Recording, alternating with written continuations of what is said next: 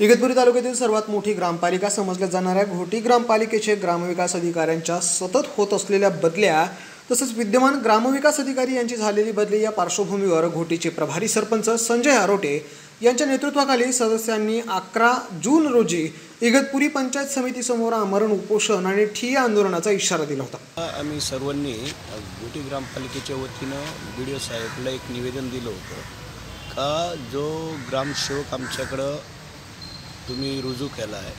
तो ग्रामसेवक आम्हाला नको आहे दोन टाईम तो सस्पेंड झालेला आहे.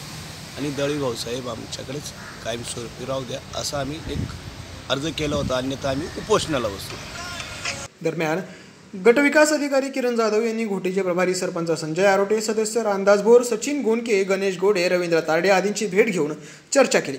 ग्रामविकास अधिकारी यांच्या बदली आणि नवनियुक्ती प्रकरणाबाबतचा प्रस्ताव जिल्हा परिषदेकडे पाठवण्यात आला असून याबाबत समन्वयक आणि सकारात्मक पर्याय काढण्यात येईल अशी लेखी ग्वाही दिली आहे. Satish Purohit news India twenty seven Ghoti.